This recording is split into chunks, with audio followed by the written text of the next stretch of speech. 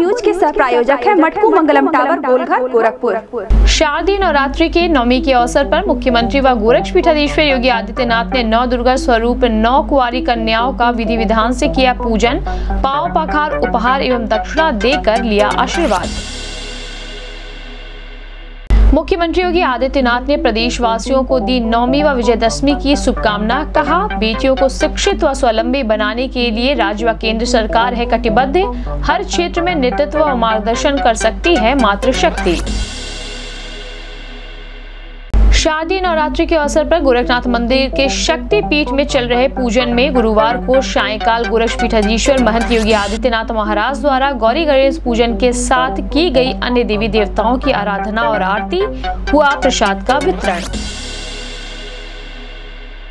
विजयदशमी के अवसर पर गोरखनाथ मंदिर से मुख्यमंत्री व गोरक्ष पीठाधीश्वर योगी आदित्यनाथ की निकलने वाली विजय शोभा यात्रा के मार्गों पर किया गया मॉक ड्रिल।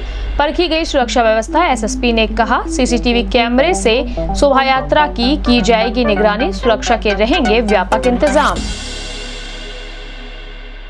जनपद में स्थापित माँ दुर्गा के प्रतिमाओं के विसर्जन के लिए राप्ती तट पर बनाए गए तीन कृत्रिम पोखरे, तैयारियाँ लगभग पूरी।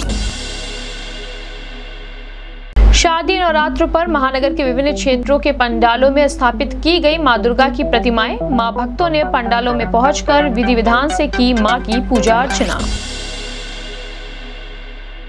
गुरुवार को जिला अस्पताल सहित जनपद में बयालीस केंद्रों पर 3,111 लोगों को किया गया कोविड का वैक्सीनेशन। प्रथम डोज लेने वालों में एक और सेकेंड डोज लेने वालों में 1,935 लोग रहे शामिल। सीएमओ ने कहा अवश्य लगवाएँ टीका जीत का नवरात्रि के अवसर पर जंगल कौड़िया स्थित माँ दुर्गा के मंदिर में उमड़ी भक्तों की भीड़। मंदिर के उत्तराधिकारी ने कहा, माँ करती हैं, सभी भक्तों की मुरादें पूरी। श्री श्री रामलीला समिति आर्यनगर के तत्वावधान में बुधवार को किया गया विभीषण द्वारा भगवान राम की शरणागति। अंगद रावण संवाद। रामेश्वर स्थापना की लीला का मंचन। भाव विभोर हुए दर्शक।